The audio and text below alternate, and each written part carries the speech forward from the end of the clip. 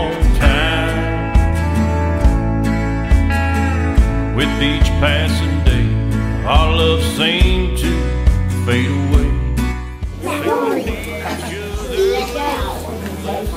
They want to scream, sing, and what they all say.